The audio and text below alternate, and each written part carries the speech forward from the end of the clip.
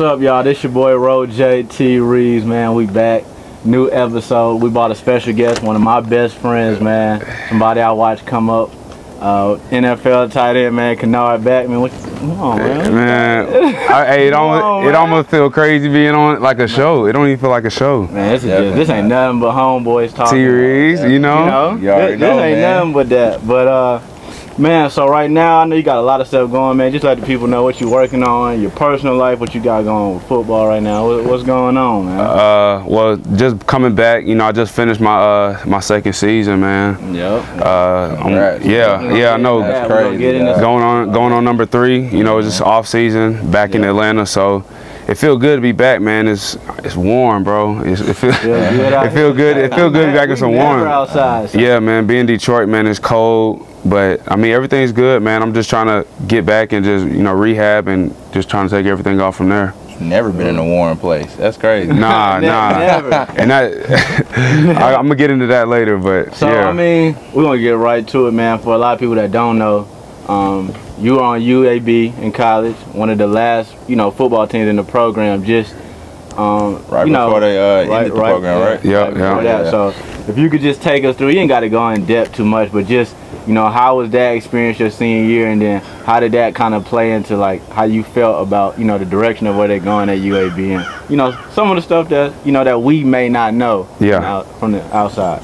Well, it, it's like a it's like a bittersweet feeling, you know, Mm-hmm. because you know with everything kind of went down. Uh, the last game of the season, uh, we were you know kind of going back. We were bowl eligible uh, after winning that game. We were six and six, and you know just everything after that. Just the AD, the AD didn't come in the locker room, and uh, after that game, and that was one of the best seasons we had in like ten years. So Right. I just thought something was up with that, and you know ended up shutting down the program, and uh, basically everybody had from so it shut down I think December 1st you know the guys had basically almost a month you know because they want to get enrolled for the start the spring semester. So they had basically a month to find school. So you know it was like a it was almost like a recruiting like a recruiting house you know as far as just colleges coming in trying to get players. But you know just you know how you know sometimes sports work. It doesn't you don't just come in and just get the scholarship you know to go play at an SEC Yeah, school like yeah, that you know? that, yeah. so um, for a lot of those guys, you know, they had to transfer, go different schools, and kind of JUCO route. But uh, but now seeing it kind of reverse and seeing it come back, like I said, like it's kind of a good feeling to see it come back. Mm-hmm. But you know, when you look at it from a sense of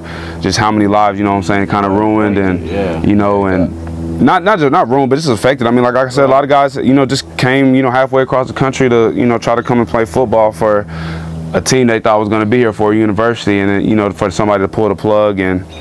But like I said though, with Bill Clark and his staff and our coach stayed there. I don't know if y'all knew that, but our coach stayed there. So uh, they seem like they they seem like they know what they're doing. They got a new stadium, so UAB 17 is the Man, that's return. good to see that coming back because I do remember like, and I and I hit you up about it when I saw the, the video on ESPN with the guy in, That the- was in sad, the room man. crying. Yeah, Yeah. that was sad. And I always say with anything, whenever a grown man is that emotional, you know he really really hurt. So, Yeah, I've never seen a room full of grown men cry like uh, like uh, like 50, 60, 70 grown men like all ages.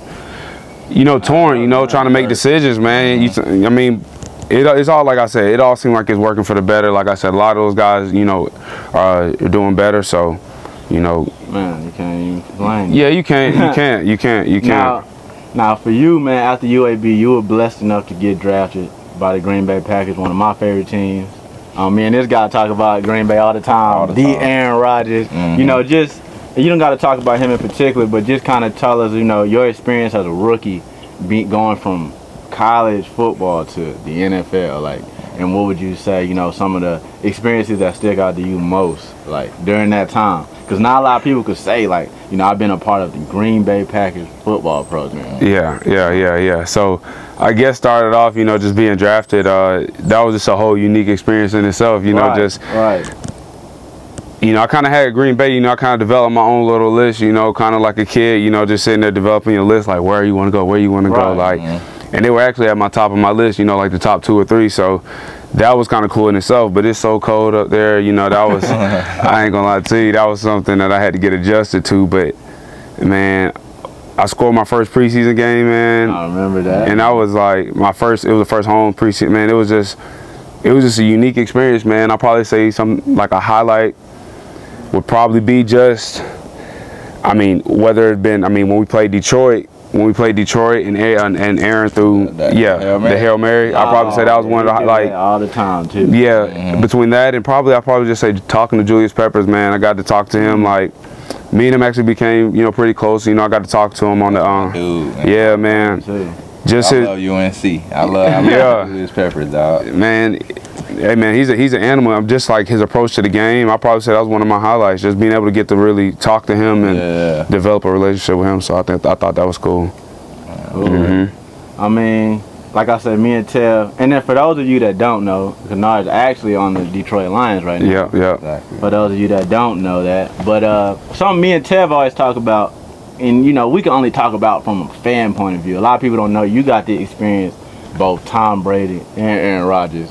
Like Go to work on a firsthand daily. experience. Yeah. So, you know, like I said, me and Ted, we can sit up here and talk about these guys, but we can only go by the statistics and what we see on TV. What, you know, do you remember from them two as far as seeing them in practice and film, you know, in games? Obviously, you probably spent more time with Aaron, but even with the little time that you got with Tom, what do you think, you know, about his approach to the game? Or, you know, who sticks out to you most between those Talk two? about they work at Yeah. or whatever. 'cause I Yeah. know It's probably crazy. yeah. I mean, um, first off, you talking about two of the best people that ever played the game. Right, you know what I'm yeah, saying? I mean, there's always arguments about that, but um, you know, as far, as far as playing with Aaron, I think you know he just.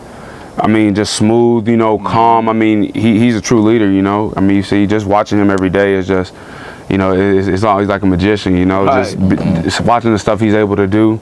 I mean, you know, throwing the no look passes. I mean, just, you know, commanding the huddle. I mean, it, it's, it's phenomenal. You kind of transition, you know, toward Tom. He's the he's the same way, you know. I mean, you're talking to, like I said, Tom. I mean, being able to check plays. I mean, at, at the line. I mean, those two guys do a good job of knowing what you know, knowing what the defense is in, what the defense is in, and like exploiting that, you know, and, and running with it. You know, uh, you know, when I was at New England, you know, for that short term, I mean, I definitely, you could definitely feel his leadership and his presence in the room, and I mean, it's no, it, like I mean.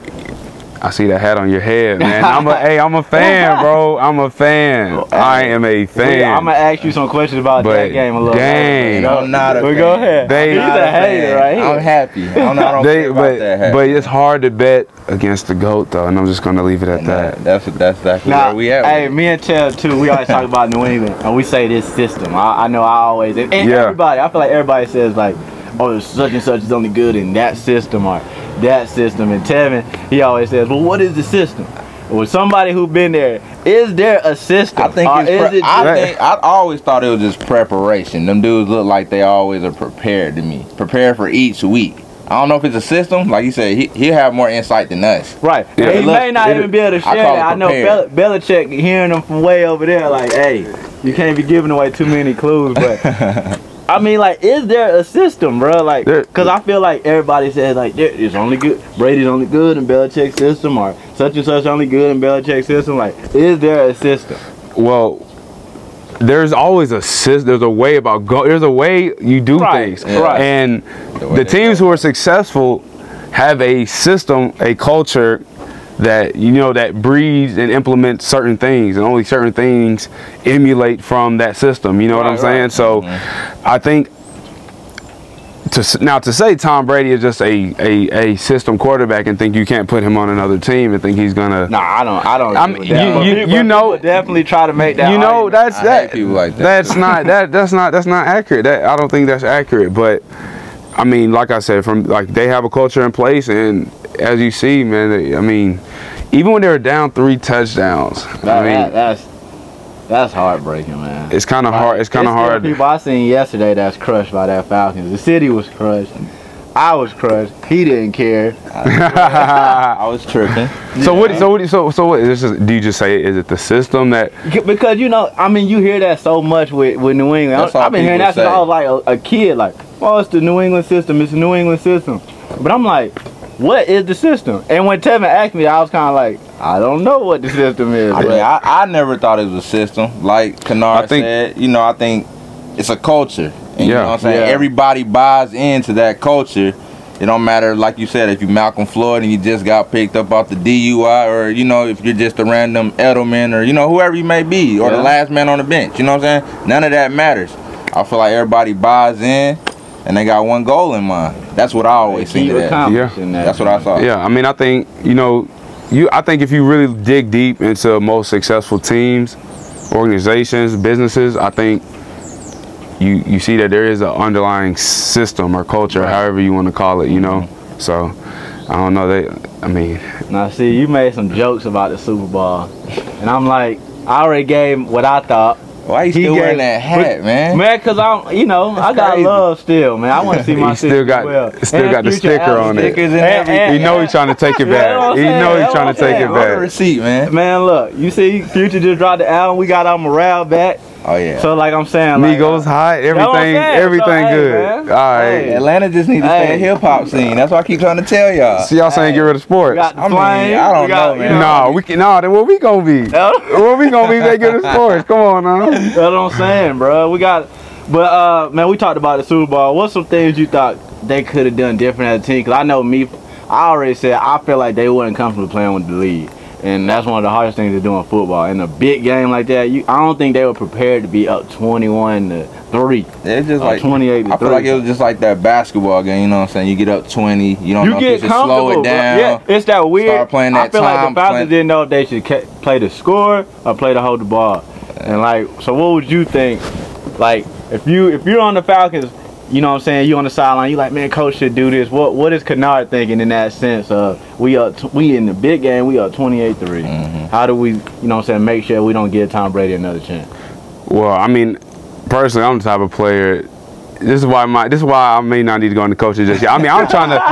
I'm trying to. I'm trying to keep. I'm trying to keep, my foot. foot yeah, of course. That's what I said. It's gotta be. It's, I mean, that's my mindset. I mean, we're talking all the marbles.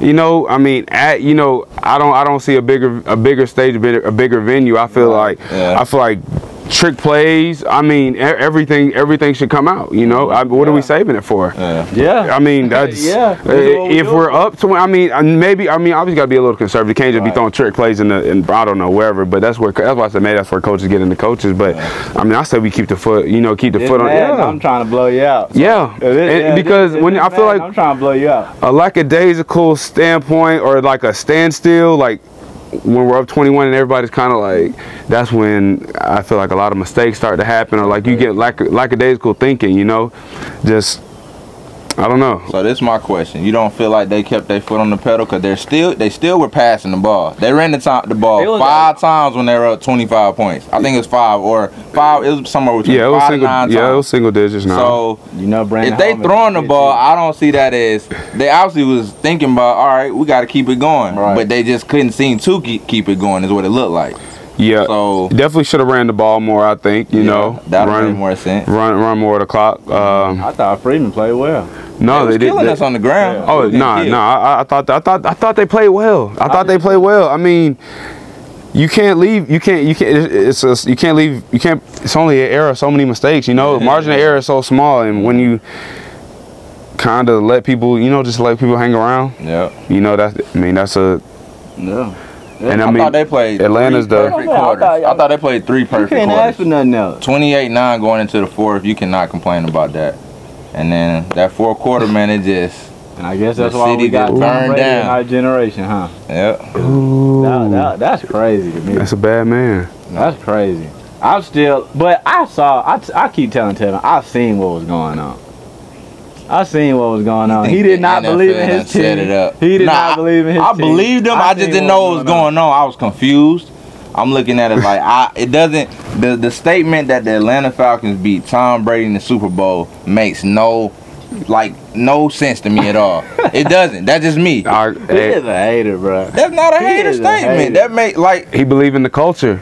Shout out to Miko. Shout out to you, man. bro, where am I from, bro? I gotta be from the A, bro. I He gotta from the A, be. bro. Every time he in Wisconsin, bro, he, he want to come back to the A. He Yeah, the man, A. He music. A. Yeah, man. You know we don't get no music out there, man. Yeah, Oh, man. So I started. I had Right. a. So I started. had to start to make my own music, man. Look, hey. nah. Hey, I'm go ahead. You might as well go. You done touched Yeah, on it. Now you the might as well. Keep telling what's me some- what- what else you things doing, working man? on Yeah. outside of football? Because well, people, I feel like this is unfair for athletes. By the way, they expect us to only like sports. Like Mhm. we do do other things, people. Mhm. Like so, what's some things you working on outside of football that you know you got a hobby for that you may you know turn into, you know, Yeah, yeah. some businesses or you know. Uh, like I said, the music, the music. I mean, I've been playing. I've been playing. I've been in the band since like seventh grade. Boy so. got the Zaytoven skills. So, What you used to play? Y'all Uh, I started out with the trombone, man. Oh, okay, I had the trumpet. Here Yeah, he goes.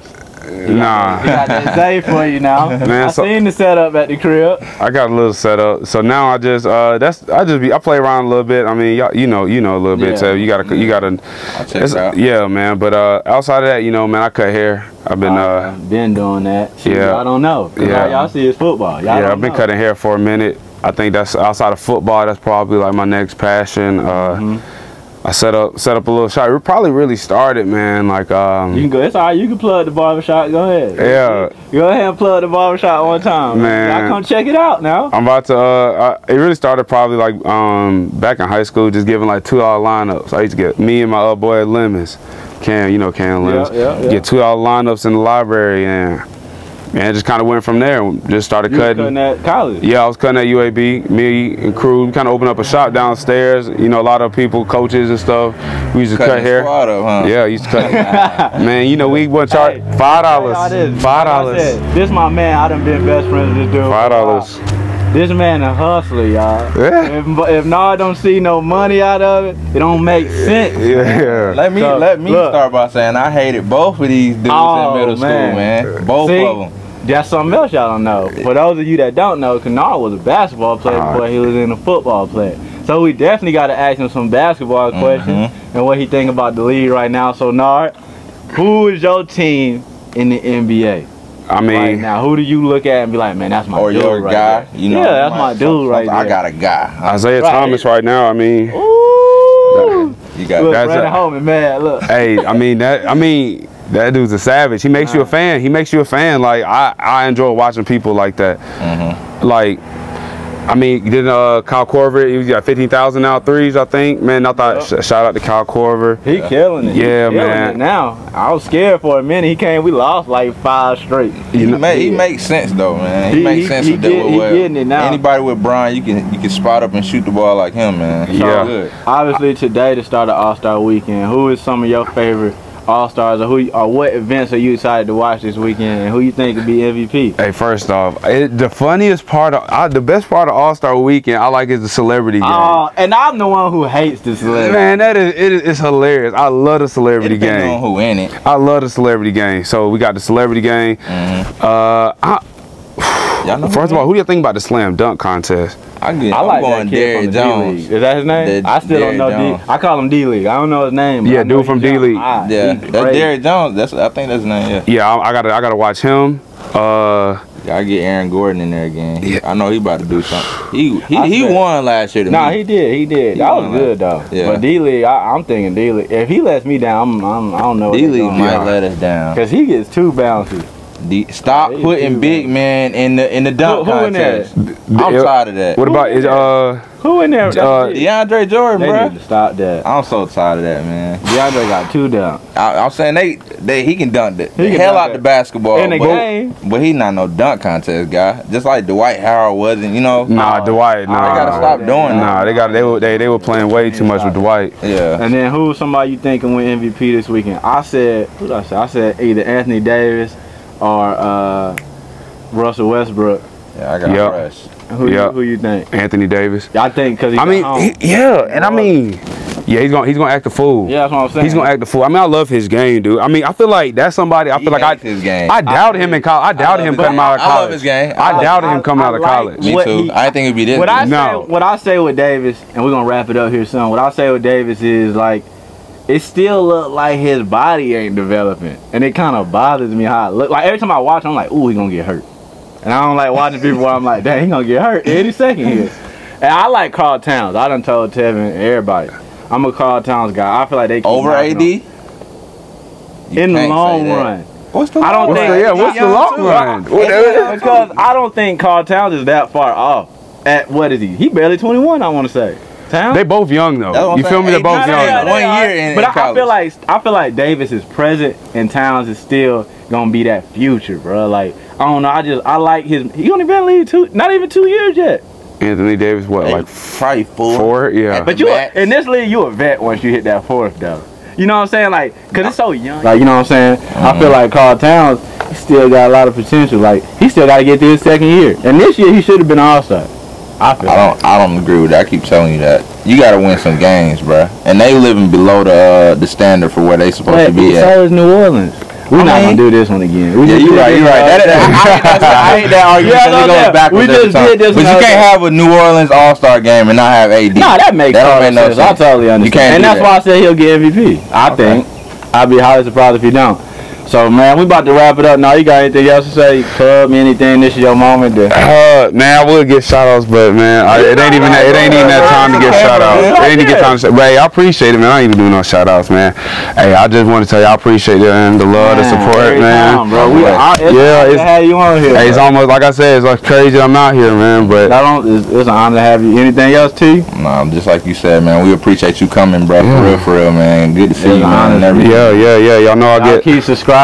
Check out my boy Kennard. Make sure y'all follow him next year, Detroit Lions. Mm. Yeah, yeah. Year number three coming up. So So number three, man, we working. Yeah, We ain't gonna talk about it. We just working. that's it. Y'all gonna see the work. we out, man. Peace.